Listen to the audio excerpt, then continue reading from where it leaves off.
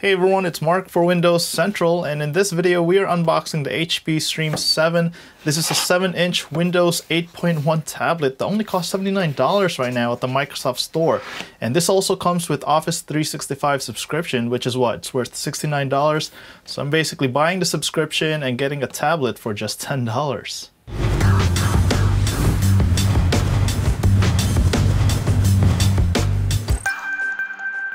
All right, so let's go ahead and open the box. There's a big sticker over here. Let's just cut that off.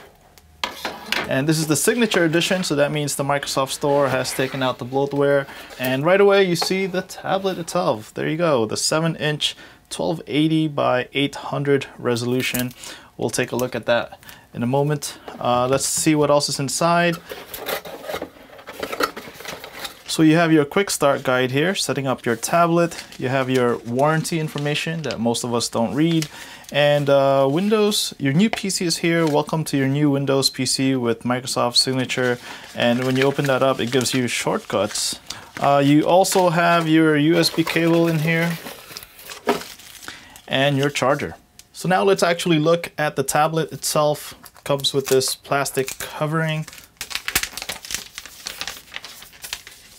And here we go, the HP Stream 7. On the side, you have the volume buttons and the power button. On top, you have your USB and headphone jack. Uh, nothing on this side. At the bottom, these are the speaker grills. And you also open this up because inside this case, you have uh, the slot for your micro SD. The battery is not removable, but you can put your micro SD card in here. All right, so I've gone through the account process and it's now going through some Windows updates in the background. So this is the HP Stream 7, the signature edition, which means this is exclusive to the Microsoft Store. It comes with a free antivirus software that never expires.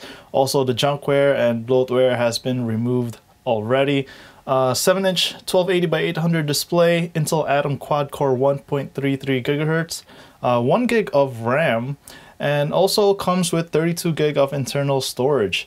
But again, this has a micro SD slot, so you can increase that. All right, so that's our quick unboxing of the HP Stream 7. If you have any questions, let us know in the comments section below. I'm Mark Guim for Windows Central. Thanks for watching.